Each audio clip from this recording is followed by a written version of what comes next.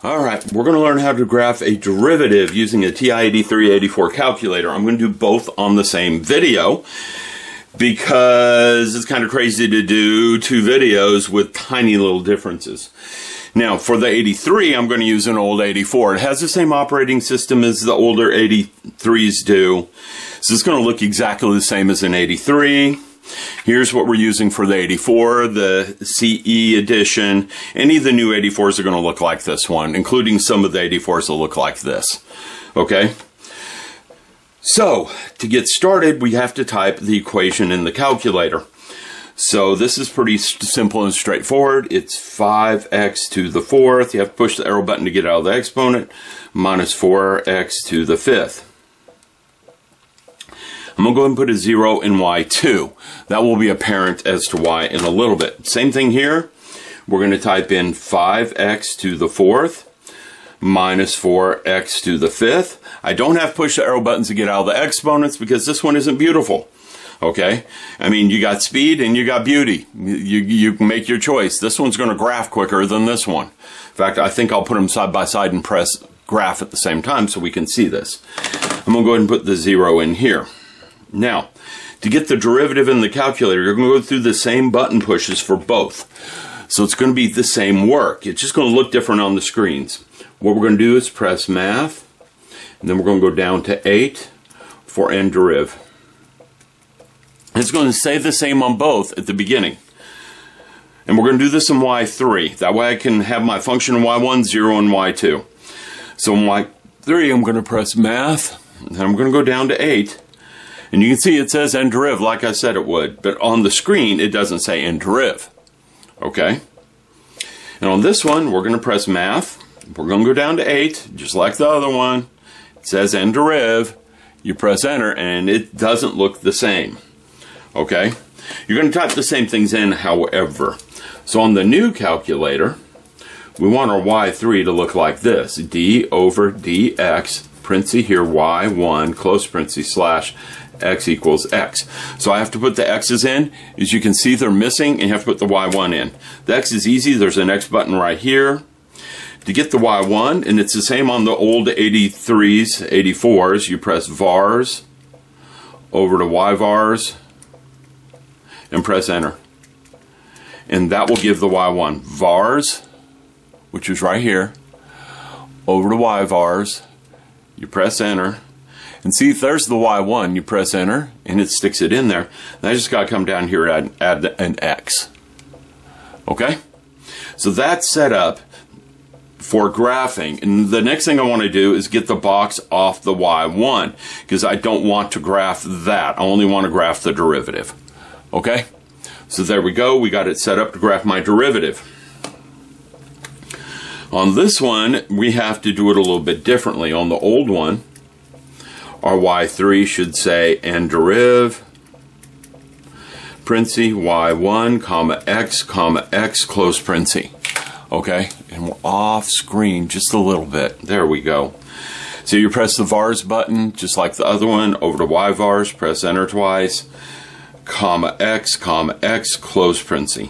Now the only thing extra you're pressing here is a couple of commas.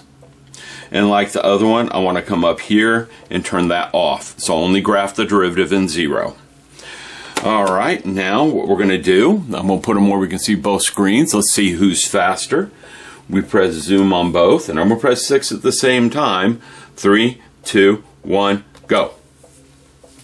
Now that responded a little quicker, so maybe I pressed uh, 6 a little quicker on this one, but you see this one graphs faster. The old 84s, 83s graph a lot faster than the new ones. It's because there's too much junk in this to make it pretty. Okay, and you can see the screens come out identical. So it doesn't matter which calculator you have, all the work's the same. I'm just going to work with the pretty one from here. Okay?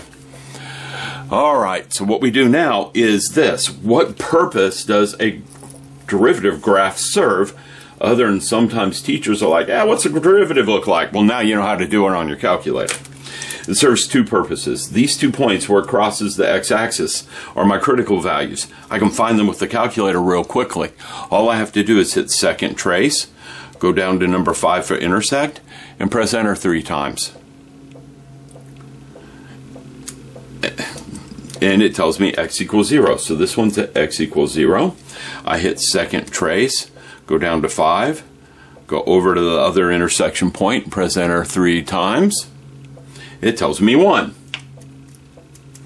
So I have two critical values, 0 and 1. It's the same thing on this one, so I wasn't doing it, but second trace 5 and then you press enter three times. It's literally the exact same thing, tells you the same answer.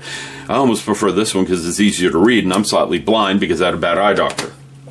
All right, now once you got the critical values, you can make a sign chart real fast. You can put zero on here and one. Those are my critical values. On this side of that x-axis, we have a positive derivative. On this side, we have a negative. So I can just put oops, that's wrong. This is minus, plus, and minus. I can just copy the signs over. We're below, so it's minus. We're above here, so it's plus, and on this side, we're minus. And then you can draw some arrows in so you know where it's increasing, decreasing, max, and mins. That's why graphing derivatives are fun.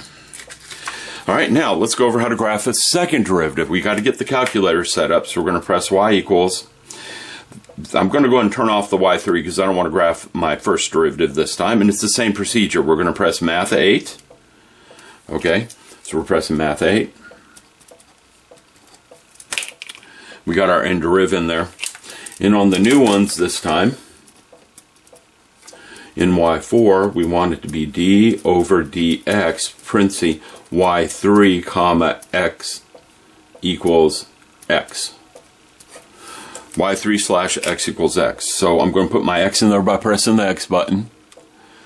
I'm going to press vars over to y vars, press enter, and get the 3 to get me my y3, and then x. Now it's set up to graph the second derivative in 0, so I can find possible inflection points. Same thing on this one, it's just going to look different. I'm going to go ahead and turn off that derivative by pressing enter on the equal sign. Come down here and press math 8 this time I press vars, go over to y vars, I go down to number 3 and press enter. And I put comma x, comma x, close parenthesis.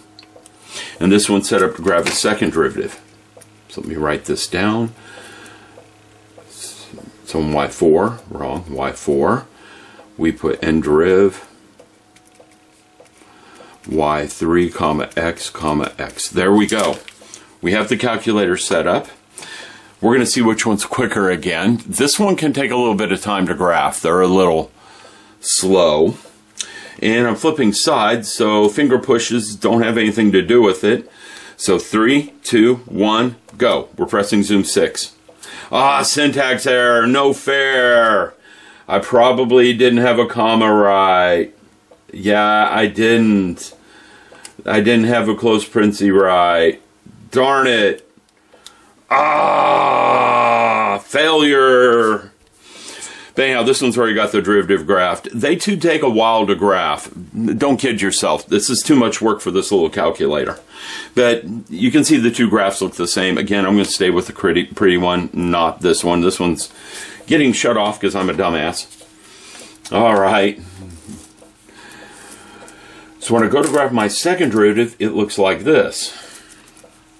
Now this is a possible inflection point, and so is this. It's the same process up there, except Mr. Calculator won't find this one when I hit second trace 5. Okay? It's not going to find it. If I press enter three times and I'm right on it, it's going to jump over here. It's going to jump over to that one. Okay? And that one is at 0.75. It's not going to find that one because it's not actually crossing, but if you were to actually find the second derivative, you'd find it's at x equals 0. Usually these are at x equals 0 that you can't solve for on the calculator. And again, we have a positive sign this way and negative sign this way. So up here we're above, so I can put positive. Between we're above, so I can put positive. Over here we're below, so I can put negative. And you can see where it's concave up and concave down. So there are some uses to doing this with a calculator.